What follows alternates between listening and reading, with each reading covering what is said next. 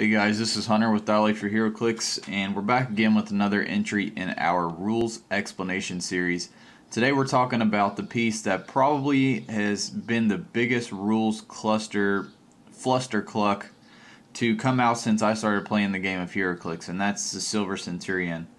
He is number 001B, the prime from and the common prime from Invincible Iron Man, and he creates a torpedo that has tons of rules questions and you guys have been requesting this a whole lot but I've been holding it until the new player's guide entry came out and until the rules deputies had more time to work on and refine exactly what they wanted to happen with this piece. So now that all that has happened, hopefully at this point everything is done and will not change, I'll go ahead and do the video. First let's read his trait. Pulse Bolt Torpedo. Once per game, give Silver Centurion a power action to put a torpedo special terrain marker on the map in an adjacent square. When the torpedo is on the map, you may give Silver Centurion a free action, put Accel tokens on the card, and then move the torpedo equal to the number of tokens, as if it were a character with wing symbol, improve movement, ignore characters. At the beginning or end of your turn, if the marker's squared is occupied by an opposing character, you must remove the marker from the map and make a close combat attack roll against that character with an attack of 11, damage value equal to the number of Accel tokens, maximum 7. So, how it works is well, first of all, what I just read is what is printed on the card, but some small changes have been made to it since this piece launched, and we will talk about those and go through different situations with Silver Centurion. Alright, so with this complicated piece, let's first start out simple and go through kind of the order of steps that would happen whenever you put out your torpedo. So once per game, you can give Centurion a power action. So we'll give him a power action here to put a pulse bolt torpedo. Now you can use whatever token you want to use for this. We're going to use the little my little Iron Man poker chips I made. Put that on the map. And this is a terrain marker. Now, the benefits and the, the differences between this being a terrain marker and it being a bystander token, similar to how Phantom X puts out a bystander Eva or how Alyosha Kraven puts out a bystander Lion, is that terrain is not a character, so it can't be attacked. So there's no way for your opponent to destroy this um, token and take it away from you because it's not a character. They can't target it. Um, they also can occupy terrain can be occupied by other characters, whereas bystanders cannot because they are a character. They take up the space. Terrain you can go on top of. Um, you cannot blow up this terrain because you can only blow up walls or squares of blocking terrain. This is not a square blocking terrain. It's just special terrain. So those are the benefits and the differences of it being terrain versus being a character. Um, as far as the second part of his trait, when the torpedo is on the map, you may give Silver Centurion a free action, put an acceleration token on this card. Now, in the example, instead of doing the card, I'm going to do it on him since we're visually going to be doing this so that you guys can see it at all times. So we put one token, one marker there on his card.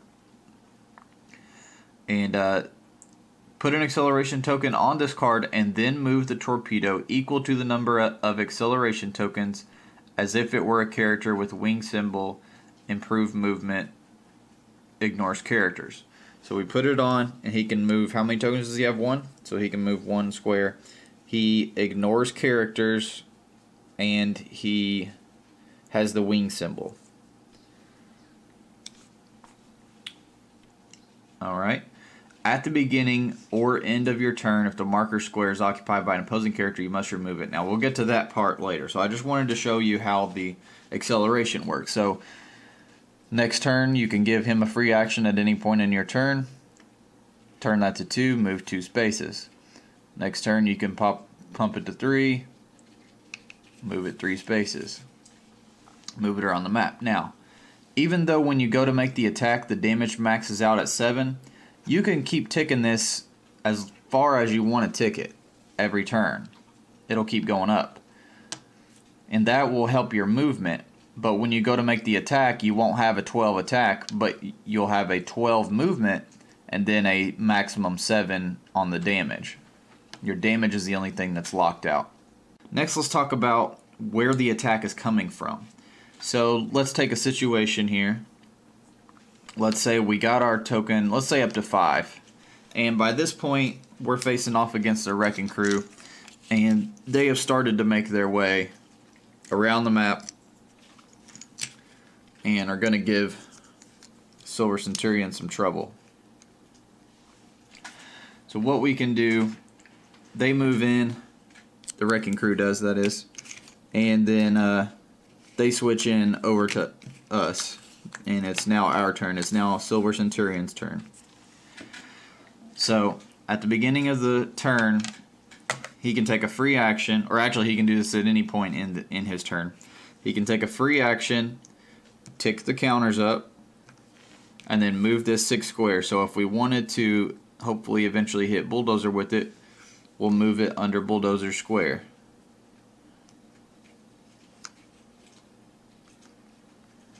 So now it occupies the same square bulldozer does, and it's got six. Now, at this point, it doesn't attack bulldozer yet. It will not attack bulldozer until the end of the turn because of the sentence in the trait where it says at the beginning or end of your turn. If the marker's square is occupied by an opposing character, you must remove the marker from the map, make a close combat attack roll that equals the 11 attack damage equal to the number of tokens. So we can do whatever else we want at this point. We can have Silver Centurion running shot and shoot Absorbing Man. We can move a couple of our other pieces, and then when we're done with our turn and it goes to the end step, now the attack happens. Now some an opposing character is on the terrain. We have to make a close combat attack. The attack value is an 11, and the damage value is equal to the number of Accel tokens. So in this case, a 6. If we had got this up to a, say, a 10 already, the damage is still going to max out at a 7 because of the trait says maximum 7. So the most you can go is 7, or if your dice, if your markers are anything less than 7, then you use whatever your marker says. Now, there's no way to pump up the attack or damage of this marker. And that's because it is a it is not a character. It is, it is terrain. The terrain, the pulse bolt, this is what is making the attack. Silver Centurion is not making the attack. So we can't put an enhancer or an empower next to Silver Centurion to give it extra damage. We can't perplex him or this to give it damage because this is the guy that's making an attack. You can't perplex this guy, the, the pulse bolt, because it is not a character, it is terrain. You cannot prob control it, whether you're it's yours or the opponent's, because it's not a character. Prob control is targeting a character. There is no character, there is only terrain. There is no Dana, there is only Zuul in this situation. So when this attack goes off, nobody's going to be able to re-roll it. So let's go through the steps here. Let's make an attack value of 11 and a damage value equal to the number of tokens, so 6 against Bulldozer as a 17. So that hits. He takes 5. 1, 2, 3, 4, 5. Now at this point, let's read through the trait here and see what happens you would remove the tokens from the card at this point. They're gone. And that matters because there's certain situations where you can friendly mind control Silver Centurion to pop out another Pulse Bolt, or there's opposing where you can uh, mind control Centurion and make him um, pop out another one. We're not going to get into that on this rules video because it is extremely complicated and very kind of abstract. It's not going to happen all the time anyway. But just so you know, if it comes up in your home games, after you make that attack, you remove these tokens from the card. Um, and again, this is the terrain that is making this attack. It is not Silver Centurion. So if he has Mystics, nobody takes any Mystics damage because the terrain was the one that was doing it and it's going to be removed anyways. If the terrain crit missed. He's not taking a hit because he's not making the attack. The terrain is making attack. So those are two answers to two questions that I get all the time. Do you take Mystics on Silver Centurion when he makes the attack? Do you crit miss and take damage? No. Silver Centurion is not the one making the attack.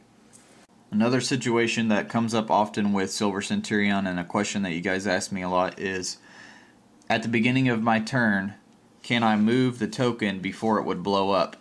And the answer is yes, and, I, and we'll we'll give an example visually and I'll explain why it works like that. So let's say the absorbing man wants to get over here, get on the torpedo before it blows up, and basically make it blow up now while it's only at 4 instead of letting it get up to its maximum 7.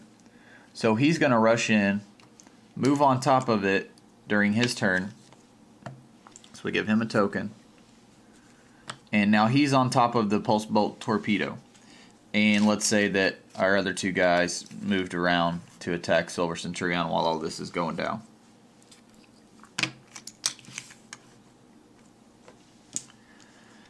Now, it, they end their turn. It becomes our turn with Silver Centurion on our team. And now this is where the question becomes a pretty good one. Because if you read Pulse Bolt to Torpedo, at the beginning or end of your turn, if the marker square is occupied by an opposing character, you must remove the marker from the map and make a close combat attack roll against that character, blah, blah, blah, blah. So now when you read that, and when I initially read it when this figure first came out, since it said you must, then I thought you had to remove the token. But, and I can see why it got ended up ruled this way. Don't forget that also each turn you can give this a free action to tick it up, move it that many squares, and this is something uh, an important thing to think about. At the beginning of your turn when you have all these free actions whether it's outwit perplex poison free movement like if you have iron man drones or free actions such as giving him a free action to tick this and then move it you can do all those steps in any order at the beginning of your turn as long as you haven't taken a non-free action. This is the same thing that lets you outwit poison first or outwit defense powers and then make your poison kick in on your guy. That's the same thing that lets you take the token, give Silver Centurion its reaction, turn it to six, and then move it. Because remember, it ignores characters on movement. So then it could get away. And Absorbing Man just wasted his time trying to make it blow up. So yes, it has been ruled by the rules arbiter and been verified by WizKids that the intent was that it could move at the beginning of your turn if your opponent moved on top of it because of the order of free actions. So basically, there's no point, hardly, in trying to rush the thing down and stand on it. Um, even though it says you must remove it from the map at the beginning of your turn, you can still take the free action to move it before you would have to trigger that. So I know this has been extremely confusing, and people are going to ask me, well, what do I do against Silver Centurion? I can't make the thing blow up by moving on top of it during my turn so that it, you know, start of his turn it blows up. You can't hit the guy, the Silver Centurion, with poison, psychic blast, or pulse wave. I don't know what to do. I'll be quite honest. It's there's not a good simple answer. He is really tough to deal with. He's an extremely good piece, and most of the rulings that have happened have been in his favor. Besides the fact that you can't improve the values on the token. One kind of abstract, but I guess not super abstract since this is a super popular piece.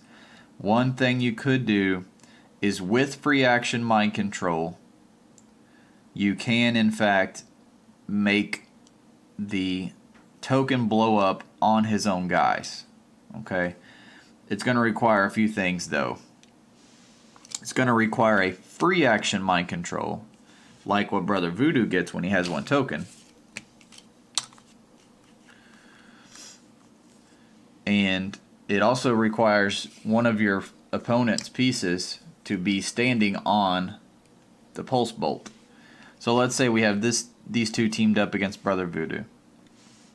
And it's Brother Voodoo's turn and his team does all their things and then he has one token. Well, remember, he gets to use mind control as a free action. So what you can do is go to your end of your turn where all you can take is free actions before you clear tokens and end your, and pass your turn over. And he can free action mind control and hit Silver Centurion. So he'll he uses mind control, he hits. Now Silver Centurion is friendly to Brother Voodoo, and therefore the terrain marker is friendly to Brother Voodoo. So now we have these three guys on the same team with Absorbing Man being the only opposing character since he is ours at the moment. And then what that does is then when you look at Silver Centurion, his trait is gonna you'll be able to make his trait go off. Because it's it is the end of your turn and an opposing character is occupying the terrain marker. So then you could make the pulse bolt attack your opponent's own piece. Because at this moment he is friendly to you, pulse bolt's friendly to you, this is opposing to you. So you can make it blow up like that. So with free action, you can't do it with regular mind control though, because it wouldn't be the end of your turn yet. If you're taking non-free actions, it's not the end of your turn. It's not the end step. During the end step, you can only take free action. All right, another thing I thought of that could really help out, um, really the only other easy way to get free action mind control besides playing Brother Voodoo is by using the Mento Intensifier Ring from the power plant. So let's say that, uh, again, this is a team versus this team. And we give him the Mento Intensifier Ring at, at the start of our turn. And he charges around. And he hits Silver Centurion and makes him take damage. Now, because of the Mento Intensifier Ring, since Silver Centurion took damage from us, we can use Mind Control as a free action to target a single character that took damage from our attack. So at the end of our turn, as a free action, we can target Silver Centurion with Mind Control. We got him. And now we can make the Pulse Bolt, bolt blow up and attack the Absorbing Man. So that's an, the only other easy way I could think of getting free action mind control was Brother Voodoo or the Mento Intensifier Ring. Alright, and then lastly, the only other real option you could have to try to make the uh, torpedo blow up on your opponent is if you had multiple mind controllers, if you had a free action mind controller and any other mind controller on your team, whether it's free action or not. We could have this character go ahead and use mind control on Absorbing Man, hit, make him move over onto the Pulse Bolt, and then at the end of our turn, if Brother Voodoo has an action token, he uses free action mind control and then makes it blow up. So if your opponent isn't stupid enough to move on top of their own pulse bolt, you can try to mind control their other pieces, move them on the pulse, pulse bolt, and then free action mind control Silver Centurion to make it blow up. I know these are somewhat abstract situations, but I'm just trying to give you some kind of idea of how you can take this guy down. And I figure since Brother Voodoo is such a popular piece that, you know, there's at least a decent chance that this matchup may happen at your venue.